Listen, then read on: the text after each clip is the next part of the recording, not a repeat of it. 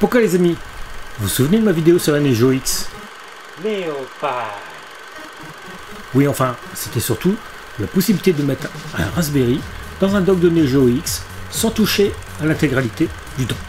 C'est-à-dire qu'on utilise les connexions existantes avec des câblages qu'on peut trouver sur le marché ou pas.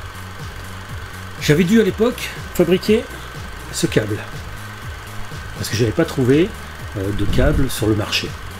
Donc avec une prise femelle et puis dans ma fabrication un petit câble mini USB pour l'alimentation et un câble USB pour les manettes.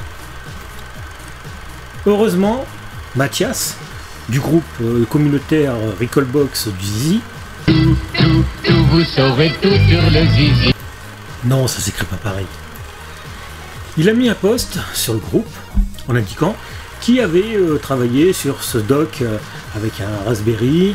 Il avait mis une vidéo euh, du, gars qui avait euh, démonté euh, complètement, soudé, enfin bref, vraiment il avait charcuté le dock. Alors moi je suis très fier, je lui envoie ma vidéo. Et là il dit oui ça je l'ai vu après mais le gars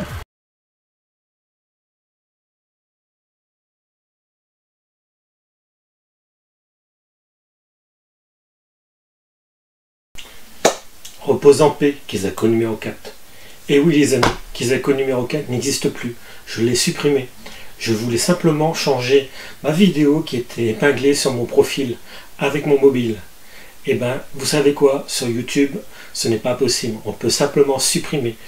Quel informaticien mettrait l'option de supprimer et ne donne pas la possibilité de changer la vidéo épinglée? Franchement. Et le pire dans l'histoire, c'est qu'une fois que vous l'avez supprimé, vous vous dites, il y a toujours une corbeille, on va toujours pouvoir récupérer la vidéo. Eh ben non, c'est supprimé définitivement. Et là, dans cette vidéo, j'expliquais simplement pourquoi, à l'époque, j'avais dû fabriquer un kit pour installer un Raspberry dans un dock, alors que maintenant, on en trouve dans le commerce. Bref. En plus, le projet est corrompu, le fichier que j'ai utilisé ne fonctionne plus, donc il n'y aura plus jamais de vidéo. Ce que vous avez vu là, c'est tout simplement ce qui reste. Un conseil les amis, sur YouTube, n'effacez rien, toute suppression est définitive. Ciao